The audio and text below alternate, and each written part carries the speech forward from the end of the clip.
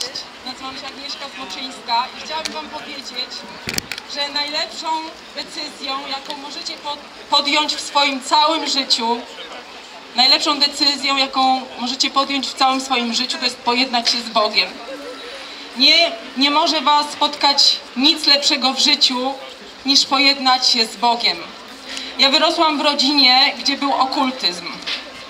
To jest teraz bardzo popularne. Ludzie pakują się w różne jakieś ezoteryczne historie.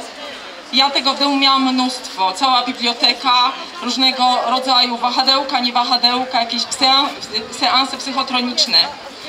Mój ojciec się tym zajmował i ja nasiąkałam tym, ja fascynowałam się mocą. I powiem wam, że to nie zaprowadziło mnie nigdzie. Mimo, że ja wiedziałam, że jest świat duchowy, że jest moc, to po prostu cierpiałam na depresję. Jako małe dziecko pocieszałam się tak, że jeśli już nie będę w stanie wytrzymać tego napięcia emocjonalnego, tego smutku i beznadziei, to po prostu wyskoczę oknem. Pocieszałam się w taki sposób jako kilkulatka. Wiecie co, ja wiem, że to było związane właśnie z, z okultyzmem, z tym, co było w moim domu.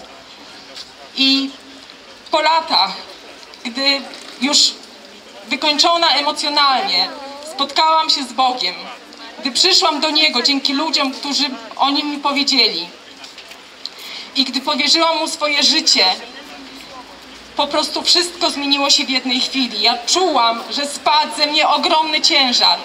Ja czułam się tak, jakby kilka ton spadło z moich ramion. Po prostu pokój, który pojawił się w moim sercu i to poczucie bezpieczeństwa było nieporównywalne z niczym. Ja życzę Wam wszystkim tego samego. I chcę Wam powiedzieć, że jedynym, który ma prawdziwą moc, jest Jezus Chrystus. I chciałabym Wam powiedzieć również, że On nie wisi na krzyżu. My jesteśmy w tym kraju przyzwyczajeni, że wszędzie są krzyże, a na nich wisi postać Jezusa. Ja Wam chciałam powiedzieć, że to jest zakłamywanie rzeczywistości, dlatego że Jezus nie wisi na krzyżu. Jezus zmartwychwstał. On oddał swoje życie. Nikt mu nie kazał tego zrobić. Jezus powiedział o sobie: Ja kładę swoje życie. Nikt mi go nie zabiera. Ja je kładę, bo chcę. Jezus położył za każdego człowieka swoje życie i on je potem wziął, dlatego że miał moc. Dlatego, że to On jest Panem i dlatego, że to On ma prawdziwą moc. A diabeł i ta moc, którą On oferuje, to jest żenada i wydmuszka. Jeżeli jesteście w okultyzmie, jeżeli chodzicie do wróżek, jeżeli się tym fascynujecie, to Wam dobrze radzę, odwróćcie się od tego, pokutujcie i przyjdźcie do prawdziwego Boga.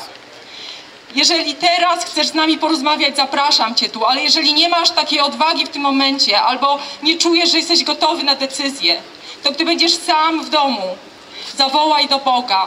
Powiedz do Niego, Jezu, ja chcę, żeby moje życie się zmieniło. Jestem grzesznikiem. Ja przepraszam Cię za moje grzeszne życie. Ja chcę Ciebie uczynić moim Panem i Zbawicielem. Proszę Cię, przyjdź do mojego życia.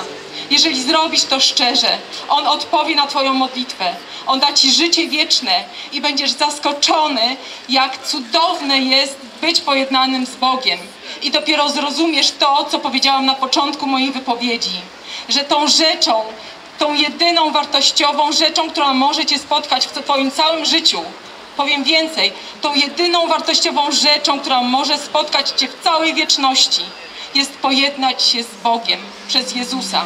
Jest oddać swoje życie Jezusowi, dlatego że On jest jedyną drogą do nieba.